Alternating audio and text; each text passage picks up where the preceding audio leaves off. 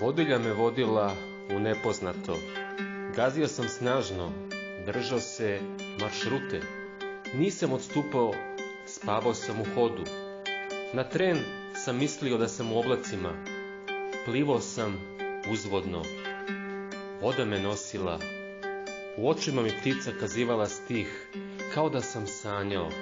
Gazio sam stenje. Stenje me gazilo. Na tren sam mislio da sam u oblacima.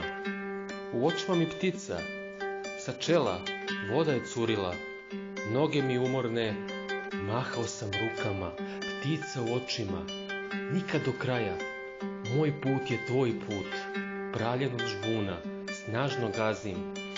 Unaokolo svetlucaju nečije oči, prljava igra, vreme ograničeno. Plivam uzvodno, što pre da stignem do kraja ili početka. Neće me niko primetiti ako stignem, ni videti. Sa čela voda je curila, moja sreća, tvoja sreća, teške reči, teška jutra, moja krv po mom telu, juri u očima mi ptica kazivala